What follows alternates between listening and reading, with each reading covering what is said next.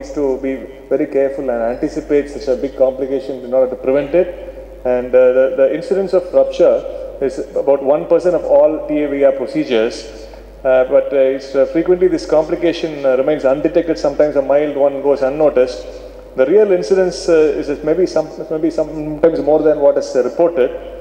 And uh, we need to have some predictors of uh. So if you look at the predictors, very severely calcified aorta, aortic annulus, particularly bicuspid valves with eccentric calcium and calcium extending to left ventricular outflow tract. Or again, sizing of the valve is uh, very crucial. I think oversized valve is one of the important predictors.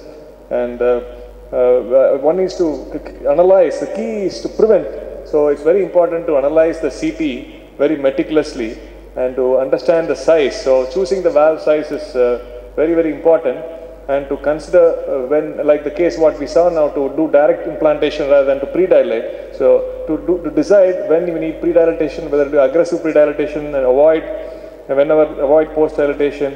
Again, balloon expandable versus self-expandable valve. Again, to decide the risk of annular rupture is much higher with the balloon expandable valves, particularly when they are oversized. And uh, even with self-expanding valves, uh, about uh, uh, pre-dilatation as well as post-dilatation, choosing the appropriate size balloon and not exceeding the diameters. So again, slow deployment and early identification is a key to manage these cases. And uh, we show you some of our, uh, what we had one patient out of our 35 cases, we had one case with the annular rupture, which I would share with you. And this is a 73 year old lady who had severe aortic stenosis symptomatic with an LV, with a moderate LV dysfunction, ejection fraction of 35%, very frail and a thin built lady with a BMI of 14.4. She had the STS score was intermediate with a, with a 4.6 and uh, we, uh, we were, they were keen to have TAVR, so we decided for a TAVR. The CT showed a tricuspid valve and uh, a tricuspid valve with the eccentric calcium. You see the calcium is more towards the right coronary cusp. Huge amount of eccentric calcium.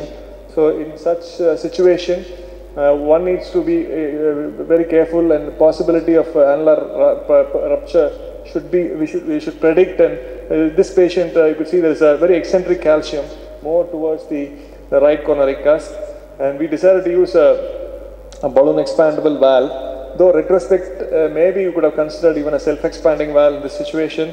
But then uh, she also had a low right coronary height of uh, 9 millimeters. uh, relatively small annulus with a small LV cavity. The annulus area was 330 square millimeters. Again again to decide on the valve size of this Sapien 3 was again crucial.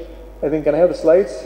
So we decided to whether to use a 20 millimeter valve versus 23 and uh, at that point of time uh, 20 millimeter was not available in India. So it's presently available. Sapien 23 20 is available. At that moment we had a 23 so we decided to implant a 23 valve so we balloon sized it again we did a balloon dilatation and did an angiogram at that time and once we did a pre-dilatation during the dilatation we injected and uh, this is a 20 millimeter balloon. We, we, we did uh, consider, we did, we removed 22 ml, so we underfilled the uh, 23 millimeter sapien 3 valve to, to be very sure. So we, we removed 2 ml, and this was a deployment, very slow deployment.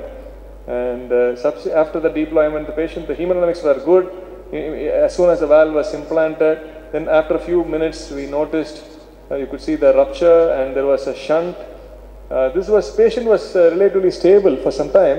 Actually, the shunt was from the uh, from the aorta into the right ventricle, and uh, hence this was the RCC to RV shunt. Patient was stable. This was the echocardiogram where you can see the shunt from aorta to right ventricle. Patient then was you know we waited for some time. The patient was quite relatively stable at that time, and we had to keep her in the ICU in the monitoring. The next day, she started developing some symptoms, so we thought we should uh, interfere in this uh, patient. So we decided to take her, and uh, we were we, we, we showed a could see the defect. There was a huge defect, and there so we decided to use we closed the shunt. We used an Amplatzer duct occluder. Uh, 1210 occluder and the shunt, uh, we, closed the shunt, but there was some residual shunt that was present. Uh, we didn't want to, there was some paravalvular leak as well, so we didn't want to do anything for that. But patient is now stable and uh, clinically being followed up, uh, though the shunt uh, remains. So this was our only case who had annular rupture. and uh, I would just show two cases. This is uh, courtesy of Dr. Raj Makkar. Uh, this is a patient with sapien 3 uh, who had uh, uh, 29 millimeter sapien 3 implantation. And following the implantation, there was a large pericardial effusion uh, with uh, hypotension. And uh, so if you look at the CT, again there was a eccentric calcium with the area of 541 millimeter square. So this patient uh, underwent coiling. He did a coiling, and following which uh, uh, the rupture was completely closed with coiling. So, so this is again one of so with four coils. So with uh, he was able to uh, successfully bail out from this uh, uh, uh, serious complication, and the patient did uh, well. So similar, there's one more case for, of his, which again was this femoral approach was not a good candidate for femoral approach, high calcium. So they took went through the subclavian approach and used a 26 millimeter sapien 3 valve, and the valve deployment went well. But then uh, after the valve was deployed, they noticed huge aortic dissection, type B aortic dissection, and as you could see here, there's a type B aortic dissection. Uh, but this, uh, you can see that there's no dissection in the ascending aorta and the valve uh, functioning was good. So this patient was managed uh, conservatively and uh, this patient did well with medical management on follow-up. Uh, the valve uh, functioning was good, there was no significant paravalvular leak and there was some mitral regurgitation which persisted. So, so to show you these examples, though these complications can happen, one needs to pay attention to how to prevent it and also have some tips and tricks to learn how to manage these dreadful complications. So all these three patients which we showed were managed, although these patients were had a serious complication, they were all managed and were stabilized.